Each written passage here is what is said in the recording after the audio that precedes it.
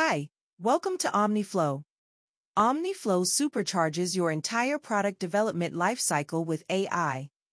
It can help you accomplish a variety of things, including brainstorming ideas, creating documents, generating tasks, or managing a project end to end.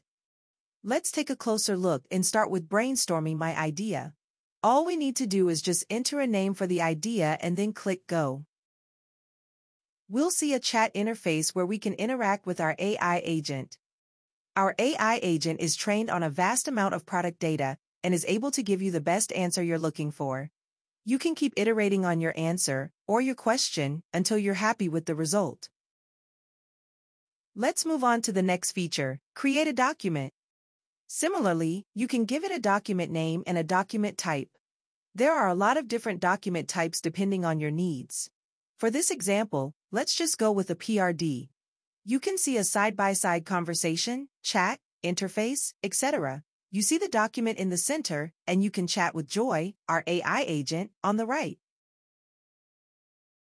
Once you enter a simple prompt, our AI agent will be able to create a document automatically for you. The document is generated, you can edit it, publish it, export it, or share it with whoever you want to. Next, let's look at another feature, Generate Development Task.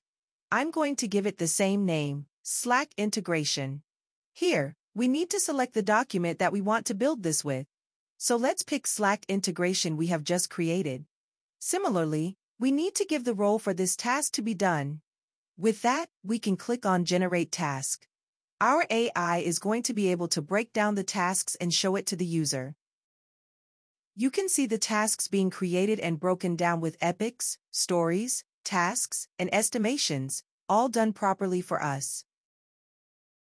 For the next step, we can essentially create a development schedule. We can just add some engineers who are going to work on this, and as you can see, tasks are being broken down into sprints, and each sprint has a start and end date, and story points, all created for us. We can also publish a dev plan so that it will go into execution development mode. Finally, we can create a project for Slack integration when we are ready. We can give it a due date and then click Go.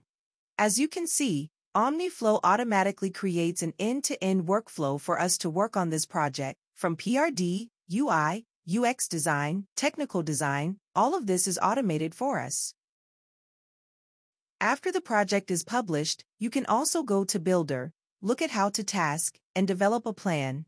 And you can also publish this to Jira, so the users and your engineers can use Jira to do the work.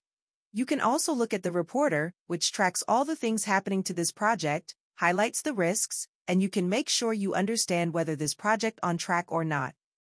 Thank you, that's all for OmniFlow.